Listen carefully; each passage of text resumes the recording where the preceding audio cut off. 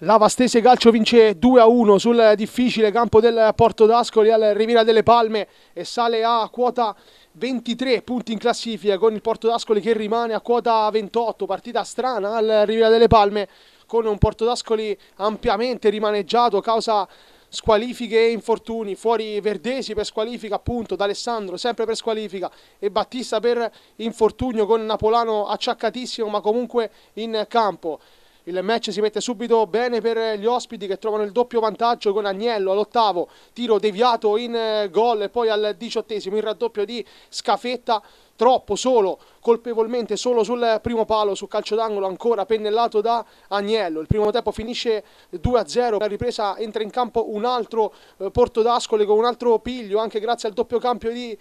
eh, Ciampelli che inserisce Petricci insieme a Pietro Paolo e al 55esimo arriva l'Eurogol di Pasqualini, sinistro bomba sotto l'incrocio dei pali che riapre tutto. Da lì in poi un'altra partita, la Vastesa paura, il Porto d'Ascoli spinge, cerca il pareggio nonostante le tante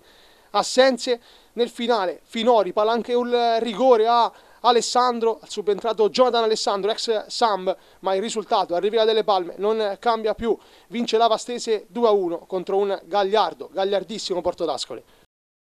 quando si perde si può fare sempre meglio. La Vastese è forte, eh, credo che eh, l'anomalia la, è che la Vastese abbia solo 23 punti, e quindi per il valore della rosa, per il valore della squadra e quindi su questo credo che non ci siano dubbi. Poi se qualcuno fa comodo eh, dire, dire qualcos'altro non c'è nessun problema. Sapone ha fatto una buona partita, sapevamo che era un po' forzato poterlo mettere subito in campo dall'inizio, ma chiaramente le assenze che oggi erano, erano, erano comunque assenze importanti per la nostra squadra ci hanno portato a fare una scelta eh, forzata nell'11 iniziale e per quanto riguarda la partita noi abbiamo fatto un buon primo tempo ma siamo stati eh, bravissimi a rimanere in partita con i nervi, con l'orgoglio, con, eh, con l'umiltà di accettare che oggi è una giornata difficile, dura. Questo stadio quando passo lo vedo sempre da lontano e eh, per me è sempre stato ed è un onore aver partecipato, anche se in un momento molto particolare mh, di, quella, di, quella, stagione, insomma, per come sono andate le cose, con un fallimento, con una società, con dei soldi da prendere che non ho preso naturalmente, però questo è il minimo, rimane... Eh, grande, eh, il grande ricordo di aver fatto parte comunque di una società blasonata, di una città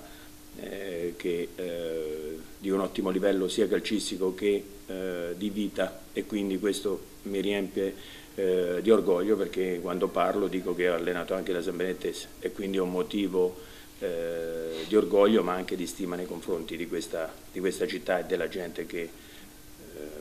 viene poi allo stadio.